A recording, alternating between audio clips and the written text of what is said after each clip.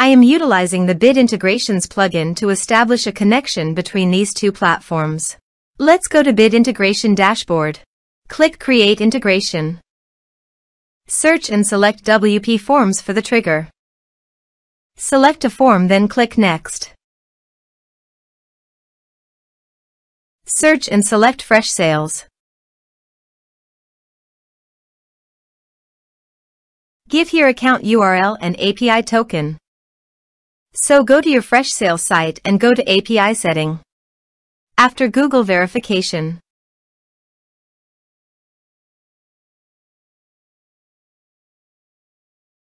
Copy the API key and account URL and paste those in the integration.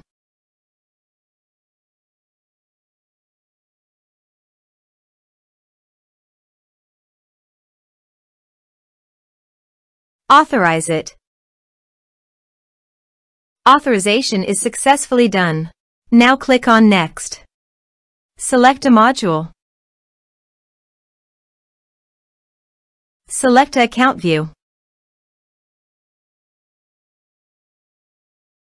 Select account. Now, map the respective fields.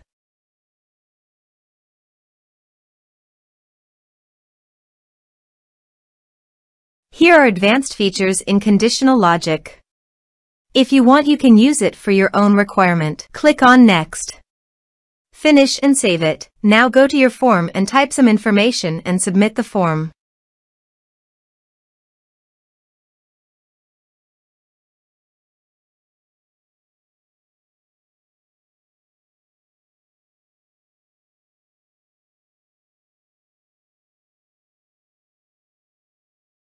The form is successfully submitted.